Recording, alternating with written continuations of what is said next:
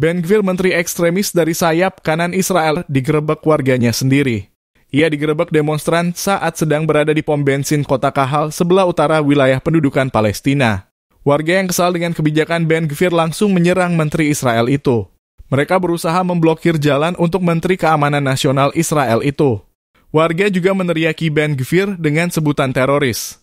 Ben Gvir teroris, Ben Gvir teroris teriak salah seorang warga Israel pada Selasa 20 Agustus para demonstran juga menyebut Ben Gvir sebagai penyabot yang menghancurkan Israel. Mereka mengatakan Ben Gvir perlu mendapatkan perawatan psikologis akibat kebijakan kontroversialnya. Para pengunjuk rasa menuduh Ben Gvir mengabaikan nasib tahanan Israel di Gaza. Para demonstran menekankan keinginan mereka untuk perdamaian. Mirisnya Ben Gvir sudah memegang senjata dan siap untuk ditembakkan ke warganya sendiri.